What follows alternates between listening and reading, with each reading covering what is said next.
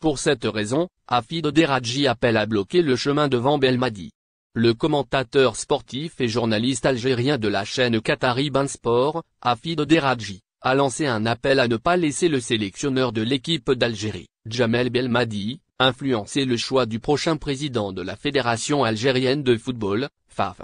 Dans un article publié sur le média Algérie, maintenant, Deradji insiste sur l'importance d'éviter de répéter les erreurs du passé en soutenant un candidat simplement parce qu'il est approuvé par l'entraîneur Jamel Belmadi, comme ce fut le cas avec Sherif Eddin Amara et Jaïd Zefizef, sans prendre en compte sa personnalité forte, sa compétence et sa capacité à relever les nombreux défis qui l'attendent pendant son mandat olympique de moins de deux ans. Depuis qu'il a pris les rênes des Fennecs en 2018, Belmadi a vu défiler pas moins de trois présidents en cinq ans, Kirodin Zeti 2017-2021, Sharafeddin Amara 2021-2022 et Jaïd Zefizef 2022-2023. La relation entre le sélectionneur et le président de la FAF a toujours suscité l'interrogation, d'où l'importance de ces nouvelles élections pour que Belmadi puisse prouver qu'il n'a pas interféré dans la nomination du précédent président de la Fédération algérienne de football. Deradji précise que Belmadi avait été accusé d'avoir bloqué les carrières de Walid Sadi, Antar et